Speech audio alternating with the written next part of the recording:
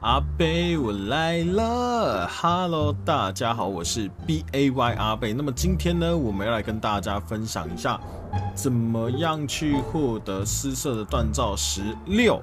那我们早一点呢，把武器强化的话，那么我们就可以比较顺利的通关哦。好，那么我们打开地图给大家看一下这个位置哦。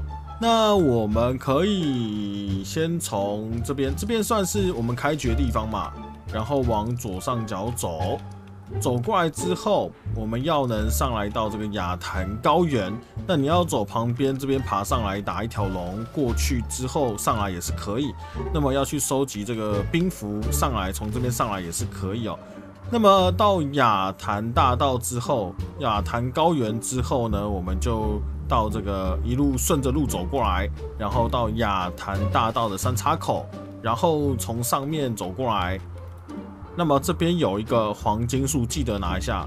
好，再来到这里之后，有个穿林大桥，这边有个传送点，然后一传呢，它就会传到对面来。然后呢，到对面之后，我们从这边旁边可以跳下去，然后呢，再顺着这个路一路走过来，走到这个醉人桥，然后我们再往这边走过来一点，然后这边有个楼梯可以往上爬。然后呢，就可以到这个格密尔的火山第一休息站。那么再走过来呢，就可以拿到我们的失色锻造十六了。好，那我们实际走的这个教学呢，我们先到亚坛大道的三叉口，然后呢，我们向左上往前走。那这边有黄金种子，记得拿一下。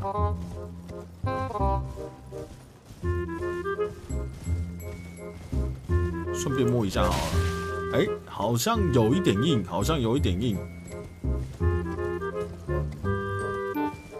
那顺着这一条路走上来，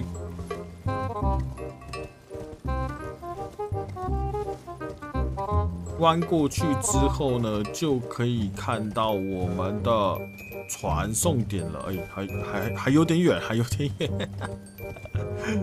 走走走走走走走。就直接到断桥那边了，就直接到那个桥那边了。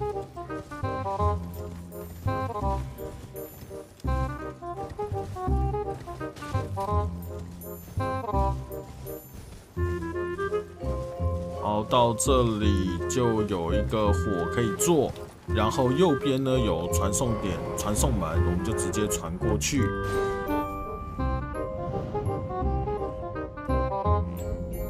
传过来之后呢，我们就往左手边走。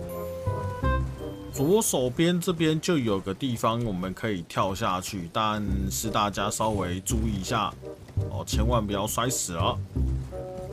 在前面前面这边有一个凸出来的一个碑，那我们就从这边下去。然后在这边呢有一个拿宝箱的士兵，记得可以打掉。这边可以拿到一个。十的，哎，就就他，哎，哎，这可以一直刷哦，真假的？还是他他给的这个宝箱东西会不一样？哎，没有了，只能杀一次，只有第一次会掉，会掉这个大恩炉大炉恩十十的大炉恩，不知道可以捏多少魂。然后我们就顺着这个路往前走，一路走。就可以走到我们的传送点了。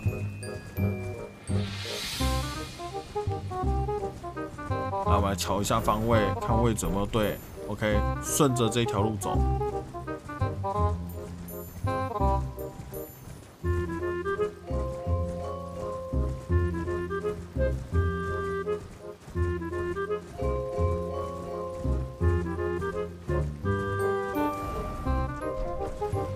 到这边之后右转，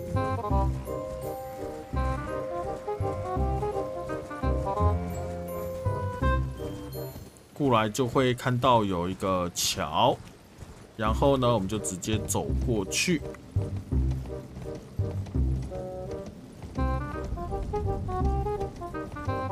然后这边就会有一个这个火可以做一下。接下来到这边我们就贴着左边的墙走吧。贴着左边的墙。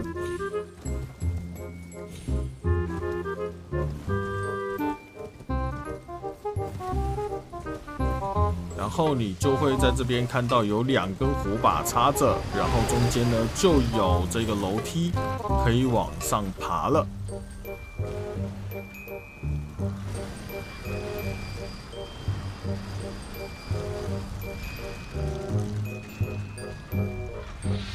话说我在这附近看，顺便看还有没有什么东西。那么整体来说好像没有看到，想说有没有什么火可以做。这个整体还蛮高的啦，爬的蛮久的。好，上来之后呢，我们往左手边走，就会有一个火可以做。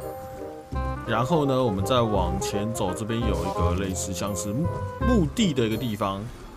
然后这边就到我们影片一开始的地方喽。那记得这边有个狼，你要小心一点。它有保护色啊！阿贝之前第一次来，哎，就捡东西，完全没有注意到这只狼，哎，然后呢，我就被扒下去了。好了，那么那个失色锻造十六就在这一个人的手上哦。好，那阿贝今天的分享呢，就到这边。如果你有其他想要跟阿贝分享的，也欢迎在下方留言板留言。那记得订阅并且开启小铃铛，你就可以哎收到最新资讯。那我们就下期再见，拜拜。